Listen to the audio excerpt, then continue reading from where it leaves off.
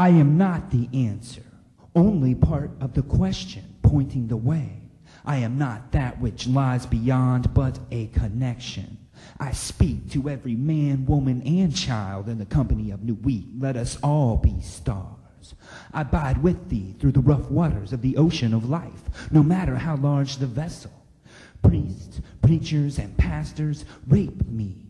Historians mutilate my carcass, and the dogs of reason devour my remains. But I am that I am, so let me be.